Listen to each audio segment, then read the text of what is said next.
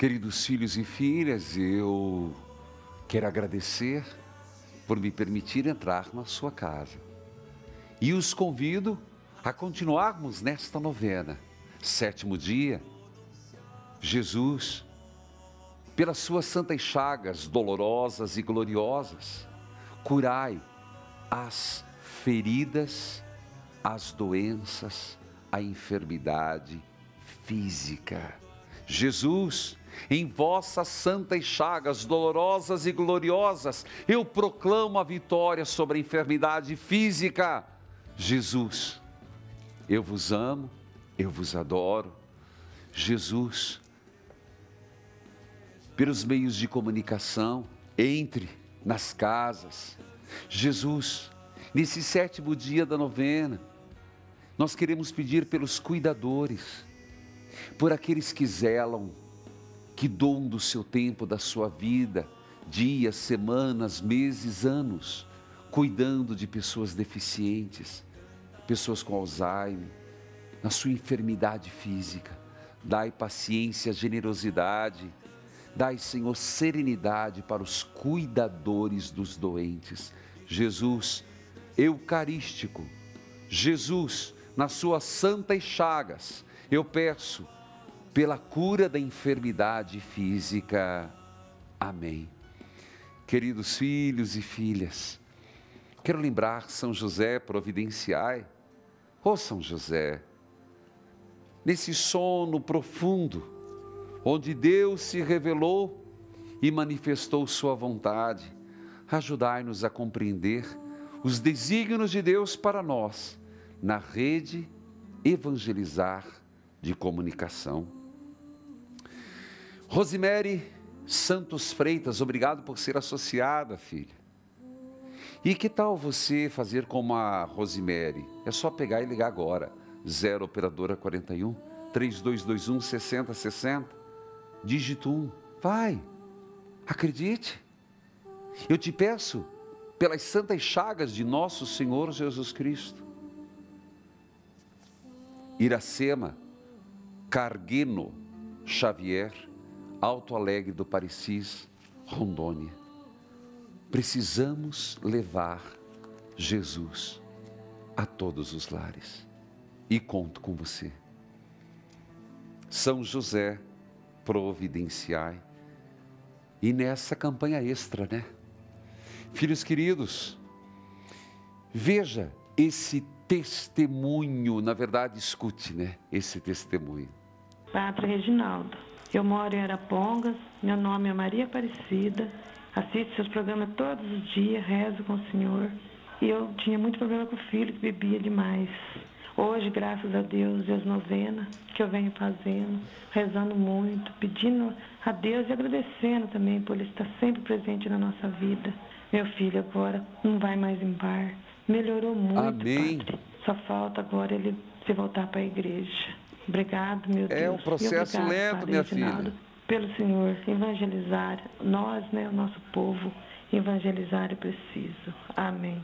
Louvado seja Deus, Maria Aparecida de Arapongas, é.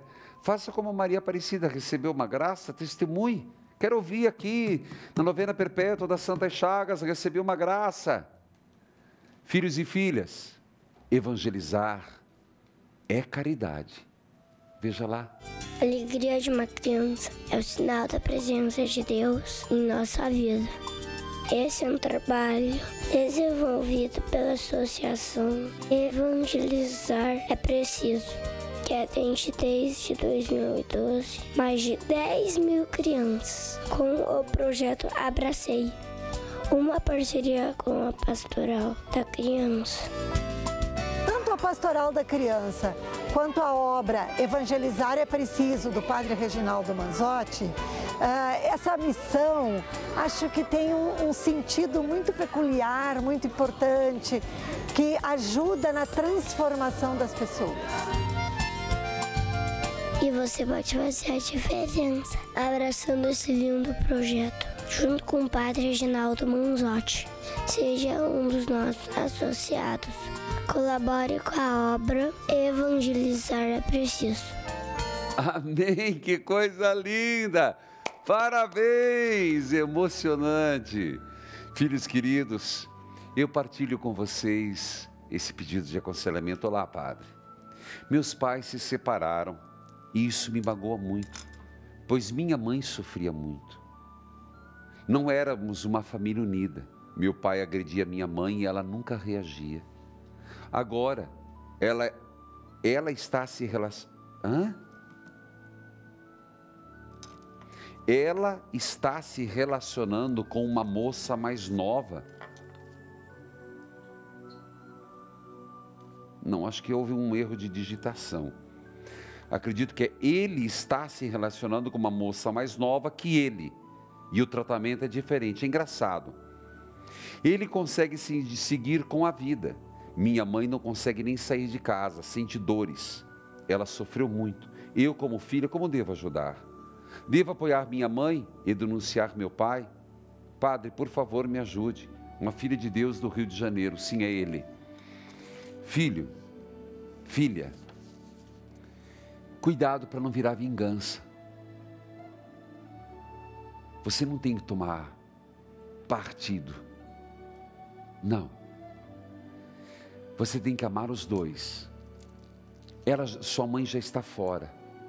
Já se separaram. O que seu pai fez foi terrível. Mas você vai denunciar agora? Agora vai mudar a realidade?